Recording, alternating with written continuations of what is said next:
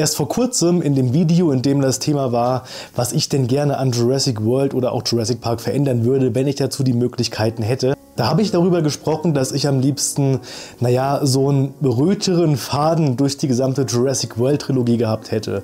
Als Beispiel habe ich hier Louis Dodgson und Biosyn genommen, die quasi schon von Jurassic World 1 an hätten aufgebaut werden sollen und dann eben bis hin zu Jurassic World Dominion eine Rolle spielen. Bei dieser Meinung bleibe ich auch komplett, allerdings haben wir tatsächlich einen roten Faden abseits von Owen und Claire, der uns quasi als Protagonist der Reihe durch die Jurassic World Trilogie begleitet. Die Rede hierbei ist von Dr. Henry Wu, der ja nach Jurassic Park 1 für uns in den Filmen erstmal keine Rolle mehr gespielt hat und dann erst zu Jurassic World Zeiten im Jahr 2015 wieder aufgetaucht ist und plötzlich irgendwie nicht mehr derselbe war. Was genau ist zwischen Jurassic Park und Jurassic World passiert, dass Dr. Henry Wu quasi diesen, diesen Charakterwandel durchgemacht hat? Oder war der Charakter von Dr. Henry Wu vielleicht schon immer eher zerrissen? Ich habe hier eine Antwort für euch. Wir sprechen über die Geschichte von Dr. Henry Wu nach den Ereignissen von Jurassic Park. In diesem Sinne viel Spaß mit dem Video.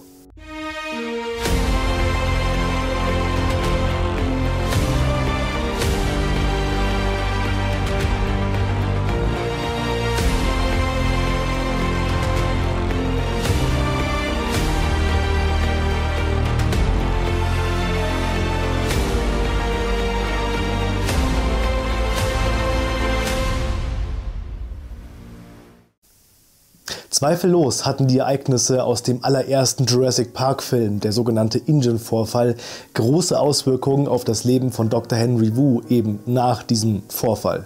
Nachdem Dennis Nedry die Sicherheitssysteme des Parks abgeschaltet hatte und damit auch die Zäune lahmlegte, ist der Park ja mehr oder weniger untergegangen. Die Situation ist außer Kontrolle geraten und es gab mehrere Todesopfer im Park. Zum einen hat es Dennis Nedry selbst erwischt, der es eben nicht geschafft hat, rechtzeitig bei den Docs anzukommen, weil er mit einem Dilophosaurus eine kleine Meinungsverschiedenheit ausdiskutieren musste und dann eben von diesem gefressen wurde. Ebenfalls hat es auch den Anwalt Ingens, Donald Gennaro, erwischt, der vom Tyrannosaurus Rex gefressen wurde. Und auch Robert Muldoon, mein persönlichen Lieblingscharakter, der auf der Jagd nach einem Velociraptor, naja, eben herausfinden musste, dass die Velociraptoren vielleicht doch ein bisschen cleverer sind als er selbst. Henry Wu hat diesen Vorfall scheinbar relativ unbeschadet überlebt. Zumindest hat er das Ganze körperlich sehr gut überstanden.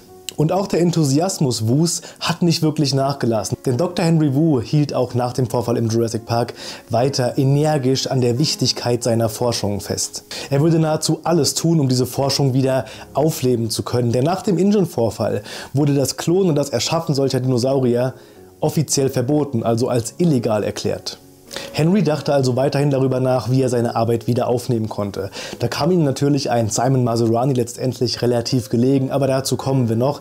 Denn eine Sache, die Henry Wu ebenfalls, naja, mehr oder weniger vermisste, abseits seiner Forschung, war die Anerkennung, die er von John Hammond und Gesamt Ingen genossen hat.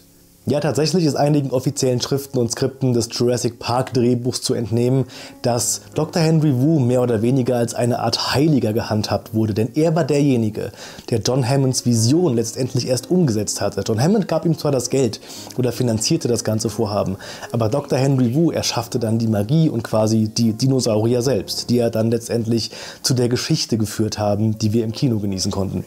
Wu konnte seine Forschung nun also nicht mehr weiter fortsetzen und auch die Anerkennung von Mitarbeitern fehlte ihm komplett. Noch dazu hat Henry Wu mit der Zeit angefangen, selbst an seinen eigenen Interessen zu zweifeln. Ist das überhaupt richtig, was er hier macht? Kann das irgendwie in ein richtiges Licht gerückt werden? Ist er daran schuld, dass das, was im Jurassic Park passiert ist, eben wirklich passiert ist? Wenn man genau darüber nachdenkt, müsste man sagen, ja, Henry Wu wäre mitunter zusammen mit John Hammond die Wurzel dessen, was dort passiert ist. Allerdings ist seine Forschung ja nur außer Kontrolle geraten, weil Dennis Nedry eben das Ganze zum Eskalieren gebracht hatte. Wäre es auch ohne Nedry letztendlich irgendwann zu diesem Unfall äh, gekommen, es ist sehr wahrscheinlich, wenn wir uns eben auch anschauen, was mit Anlage B passiert ist, die eben keinen Einfluss von Menschen gehabt hat in Bezug auf die Katastrophe, sondern eben von der Natur, müsste man sagen, ja, ähm, Dennis Nedry war vielleicht jetzt hier der Katalysator oder der ausschlaggebende Punkt, warum das Ganze so weit gekommen ist zu diesem Zeitpunkt. Letztendlich müssen wir uns aber alle eingestehen, ja, Dr. Henry Wu hat diese Gefahr erschaffen und hat genau das gemacht, was Dr. Ian Malcolm im Jurassic Park Film auch zu ihm gesagt hat. Beziehungsweise zu John Hammond gesagt hat. Die Wissenschaftler waren nur darauf bedacht, ob sie es schaffen konnten, Dinosaurier zu erschaffen. Ob sie es wirklich tun sollten, die Frage stellte sich keiner. Henry Wu kann diese Worte von Ian Malcolm nicht mehr vergessen und er gibt sich immer mehr selber die Schuld für das, was eben passiert ist und eben auch für die Opfer, die zum Großteil auch noch vertuscht wurden. Wie konnte ein Chaos-Theoretiker, ein Mathematiker wie Dr. Ian Malcolm es denn schaffen, diesen Unfall vorherzusehen, während Dr. Henry Wu, das, das Mastermind, das Genie hinter diesem gesamten Park, diese Gefahr hat mehr oder weniger ignoriert? Sogar als Ian Malcolm ihn persönlich darauf angesprochen hat, dass das nicht so funktioniert, dass das Leben weiterhin einen Weg findet. Man kann die Natur nicht kontrollieren. Sogar da hat Henry Wu, naja, das Ganze mehr oder weniger weggelächelt. Henry versagte also eine Zeit lang in einem Rausch voller Depression und eben auch der Frage, soll diese Forschung jetzt aufgrund dessen, dass ein einziger Fehler passiert ist, wirklich an ACTA gelegt werden? Die Antwort darauf kennt ihr wahrscheinlich. Nein, die Forschung wurde nicht an ACTA gelegt. Denn obwohl die Erschaffung von Dinosauriern und eben die Forschung an jenen offiziell verboten wurde und weltweit illegal ist, hat Henry Wu sich ein weiteres Desaster in diesem Fall zugutekommen lassen und zu Nutzen gemacht, um an seinen Forschungen weiterzuarbeiten. Henry Wu setzte seine Forschung auf der Isla Sorna weiter fort. Die Ergebnisse davon kennen wir aus Jurassic Park 3, sogar mehr als noch aus Jurassic Park 2, denn der Spinosaurus ist eine ein Ergebnis dieser Forschung. Aufgrund dessen war der Spinosaurus eines der Tiere, die nicht auf Ingens Liste standen, weil sie eben nicht von Ingen zum Zeitpunkt des Jurassic Park geklont wurden. Nein, Henry Wu hat seine Forschung illegal und im Geheimen weiter betrieben. Und hier hat er gemerkt, okay, meine Forschung ist weiterhin wichtig, denn ich habe die Macht, Gott zu spielen und das kann man noch weiter benutzen. Im offiziellen Jurassic Park Compendium ist sogar die Rede davon, dass Henry Wu zu Zeiten von Jurassic Park 2 und 3, also zwischen Jurassic Park 2 und 3, bereits mit dem Gedanken gespielt hat, dass man Dinosaurier-DNS von zwei verschiedenen Spezies zusammenmischen konnte, um quasi ein komplett neues, eigenständiges Lebewesen zu erschaffen. Der Grund, warum das noch nicht passiert ist, ist lediglich der gewesen, dass die Technik eben noch nicht so weit gewesen ist. Wie gesagt, zum Zeitpunkt von Jurassic Park 2 und Jurassic Park 3. Der Spinosaurus wird offiziell als Desaster beschrieben. Also das Tier scheint nicht so geworden zu sein, wie Henry Wu sich das Ganze vorgestellt hat. Ist vielleicht auch ein kleiner Hinweis auf die Aggressivität dieses Tieres. Ich weiß, wir haben jetzt hier die Spinosaurus, äh, Baby-Spinosaurus-Idee immer noch alle im Hinterkopf, aber die wurde eben nie wirklich umgesetzt. Haben wir jetzt hier vielleicht ein offizielles Argument dafür, dass der Spinosaurus so aggressiv ist, weil Henry Wu das Tier eben, naja, so geschaffen hat.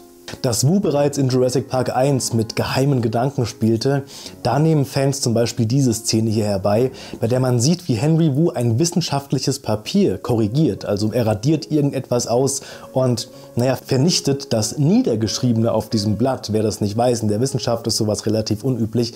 Man vernichtet solche Forschungsergebnisse nicht, sondern man korrigiert sie eben dann auf neuen wissenschaftlichen Papieren. Das heißt, das, was Henry Wu jetzt hier im ersten Jurassic Park Film gemacht hat, ist eigentlich ein wissenschaftliches No-Go, es sei denn, er möchte irgendetwas vertuschen. Hat er hier vielleicht schon die ersten Ideen aufgeschrieben zum Kombinieren verschiedener Dinosaurier-DNS? Dazu gibt es keine offizielle Stellungnahme von irgendjemandem. Allerdings ist diese Szene doch sehr auffällig, da sie mit dem Wegradieren Henry Wus beginnt. Das heißt, die Kamera steht ganz bewusst auf Dr. Henry Wu und wir als Zuschauer Zuschauer sehen ganz klar und sollen auch sehen, dass Henry Wu hier irgendetwas von einem Papier wegwischt oder eben wegradiert. Also er löscht auf jeden Fall wissenschaftliche Dokumente. Ihr merkt also schon, der Hintergrundgedanke Wus ist schon sehr lange sehr präsent gewesen. Er möchte in der Welt etwas verändern und dieser Wunsch nach Veränderung ist bei ihm so stark, dass er sogar die Schuld überwiegt, die er am Anfang noch gehabt hatte und die Depression, die das eben mit sich brachte. Henry Wu möchte die Welt verbessern. Das können wir ebenfalls aus dem offiziellen Jurassic Park Compendium entnehmen. Ich habe dir das Buch mal unten in der Beschreibung verlinkt. Wenn du dich dafür interessierst, kannst du gerne mal draufklicken. Es ist wirklich voll mit Informationen, Sideplots, Seiteninformationen, Behind-the-Scenes-Informationen und Konzepten rund um den Jurassic Park. Dasselbe gibt es eben auch noch zu Jurassic World. Das habe ich dir auch mal unten verlinkt. In diesem Kompendium erfahren wir auf jeden Fall, dass Henry Wu ein sehr enthusiastischer Forscher ist, der im Großen und Ganzen nie etwas Böses will, aber er würde über Leichen gehen, um seine Forschung voranzutreiben.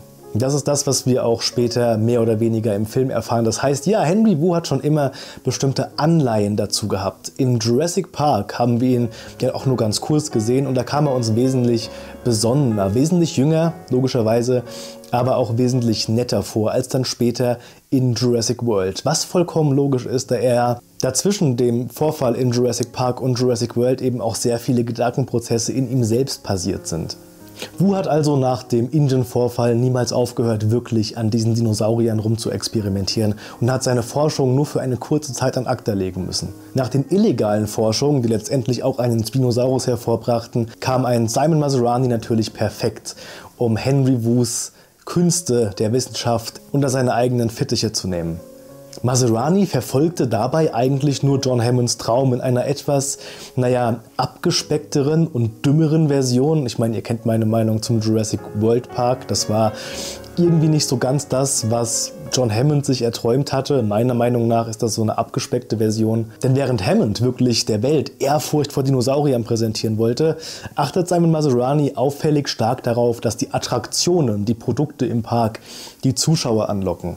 Henry Wu hingegen nimmt die Gelder und eben auch die Forschungsmittel von Mr. Maserani dankend an, verfolgt aber, wie wir später herausgefunden haben, noch immer seinen ursprünglichen Plan. Er möchte mit seiner Forschung die Welt revolutionieren. Und dann ist es soweit. Auf der Isla Sorna war Henry Wu nicht dazu in der Lage gewesen, die DNS zwei verschiedener Dinosaurier-Spezies miteinander zu kombinieren, weil eben die Forschung noch nicht so weit gewesen ist. Durch die Gelder, die Milliarden von Mr. Maserani, ist nun aber soweit, Henry Wu ist in der Lage, den sogenannten Scorpius Rex zu erschaffen. Das Tier wird aus Gründen eher militärisch dargestellt. Das heißt, wir sehen hier einen Infrarotblick des Scorpius Rex. Das Tier kann ebenfalls mit Giftstacheln schießen und wir erfahren ja später auch noch, dass diese Fähigkeit eben nicht nur dafür da ist, damit das Tier besser jagen kann. Nein, hier werden schon die ersten militärischen Tests dieser Hybriden gemacht. Im späteren Verlauf der Jurassic World Trilogie sehen wir dann eben auch noch den Indominus Rex und kurz darauf auch den Indoraptor. Und das sind eben einfach nur Tiere, die letztendlich seine Forschung weiter ausbauen. Henry Wu perfektioniert diese Art von Forschung so weit, bis er letztendlich in der Lage ist, den Tod von, naja, im Fall von Jurassic World Dominion, Heuschrecken zu verhindern. Ja, das macht Dominion jetzt wieder extrem schlecht, weil das alles führt wirklich dazu, dass Henry Wu Heuschrecken erschafft. Das aber auf jeden Fall ist die Geschichte und die Intention hinter, hinter Dr. Henry Wu. Jetzt könnt ihr selber entscheiden. Wie ist eure Meinung dazu? Seid ihr der Meinung, Henry Wu ist wirklich der Bösewicht der Geschichte? Oder sagt ihr, ja, ihr könnt nachvollziehen, warum er diese Ambitionen gehabt hat und eben diese Schritte gegangen ist. Ich muss ganz ehrlich sagen, ja, ich glaube auch, ich würde nicht wirklich gerne mit der Forschung aufhören, wenn ich dazu in der Lage gewesen wäre, naja, letztendlich sogar den Tod zu verhindern. Allerdings muss ich sagen, dass diese ganzen Wege, die Henry Wu gegangen ist, dann doch sehr, sehr heftig gewesen sind. Gerade wenn wir diese Untold Stories, über die ich auch noch mal ein Video machen möchte, ein bisschen genauer unter die Lupe nehmen, und was eben auch bei den Forschungen auf der Isla Sorna alles passiert ist, ist Henry Wu dabei doch über sehr viele Leichen gegangen. Wir können aber ganz klar sagen, Henry Wus Wandel ist irgendwie nachvollziehbar und doch von Anfang an, seit der allerersten Szene, der wir ihn jemals gesehen haben, irgendwie vorgegeben gewesen. Ich bin wie immer auf deine Meinung gespannt und bin für heute raus mit dem Video. Ich wünsche dir was, bis zum nächsten Mal. Ciao.